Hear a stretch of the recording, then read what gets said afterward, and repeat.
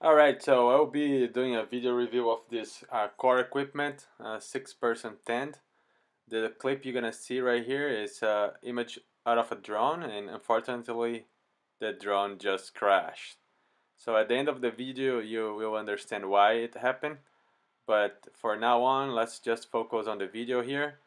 So I will be assembling this outside of my uh, house here in the backyard uh, the speed will be at 4x so you can kind of uh, move go forward quickly if you want to.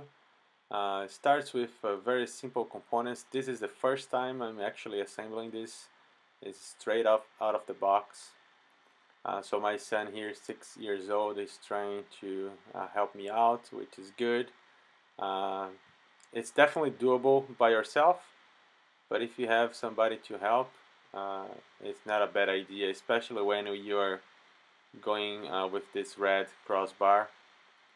The it's kind of tricky to to get to be up, uh, but maybe it's just my ability as it's my first time doing it.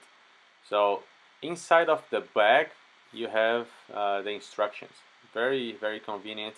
You never lose. It's not a paper instruction. It's all like printed in this uh, fabric or this plastic.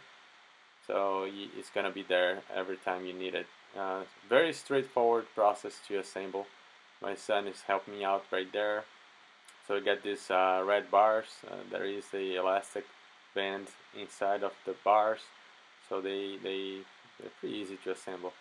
So once you have all of them uh, installed you kind of work your way around you go through those uh, red cross uh, on top of the, the tent.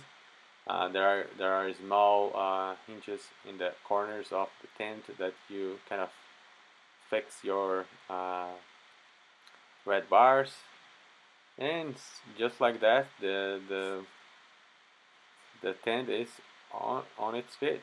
So there is a white cover that goes on top. I'll have some picture as well in the end course I couldn't have it uh, filmed by the drone because something happened uh, unexpectedly. So my son is looking at the drone image right there, the, the drone controller were sitting on top of the box. So I was, I was doing my last adjustments. If you see, I touch the box and the controller will go to the ground. As it goes to the ground, it sends my, my drone backwards into my neighbor's house. Uh, but unfortunately, uh, nothing really happened to the drone uh, and the tent was I was able to to finish the tent as you see in the pictures here. Thank you very much and hope you enjoyed this video